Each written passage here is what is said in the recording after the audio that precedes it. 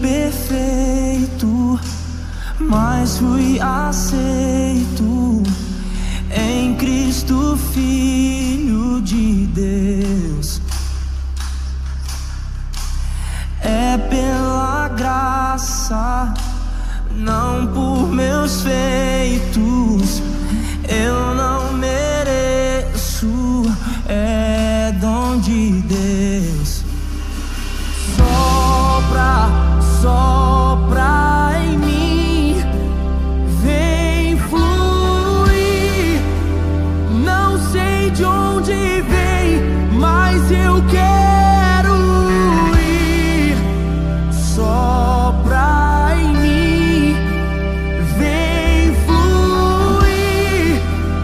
não sei.